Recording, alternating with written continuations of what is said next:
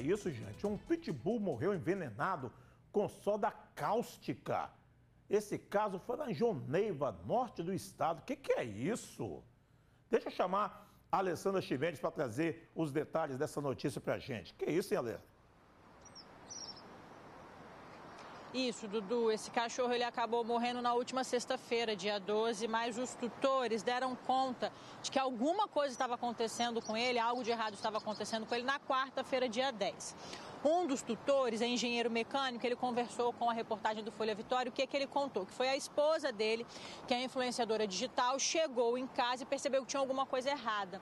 Ela viu que o cachorro estava espumando muito pela boca, estava bem abatido, é, muito ali, passando mal mesmo, não conseguia levantar. E ela percebeu, assim, vários é, episódios, ele teria vomitado várias vezes é, pela casa. Ela viu ali aquela espuma, então ela entendeu que tinha alguma coisa de errado acontecendo. Quem é tutor de cachorro aí, né, vai pegando um pouco de conhecimento e ela viu que aquilo podia ser um sinal aí de envenenamento. O que, que ela fez? Já correu ali para o veterinário, o veterinário já começou a examinar, porque ele começou, nesse momento que ela levou ali para o veterinário, sangrar muito pela boca, pelo nariz, e aí eles comprovaram que realmente é, foi um caso de envenenamento. Ele foi então ali levado para o veterinário, começou os cuidados, estava melhorando um pouco, mas infelizmente por conta desse sangramento ele acabou não resistindo e morreu ali na sexta-feira. O que, que os tutores ainda contaram? Que ali logo depois daquele susto de tentar socorrer o cachorro, eles viram que ele vomitou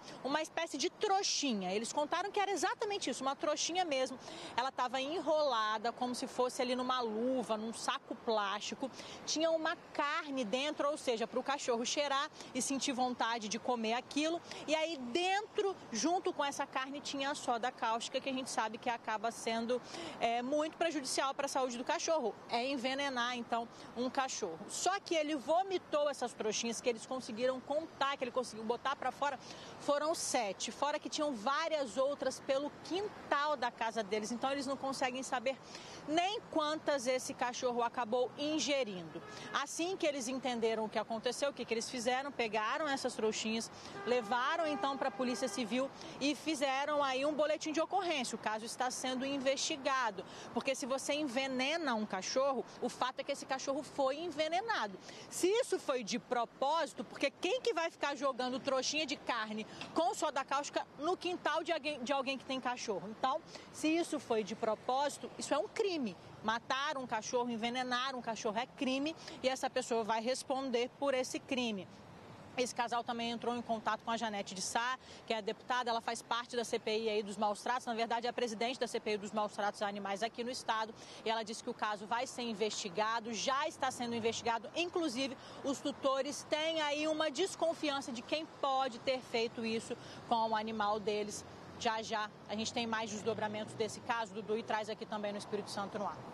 Gente, que absurdo, né, gente? Que absurdo. Envenenar um animal com sol da casca. Imagine o sofrimento deste cão durante esses dias, né?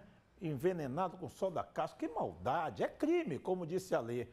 É crime que, inclusive, maus tratos animais prevê cadeia. É crime de cadeia, de prisão. É um absurdo isso, alguém envenenar um cachorro é, seja lá por, por, qual motivo for, com solda da caixa, qualquer outra coisa. É inacreditável, mostrado. Tem que ser punido. Se descobrir quem é, tem que. A, a, os tutores.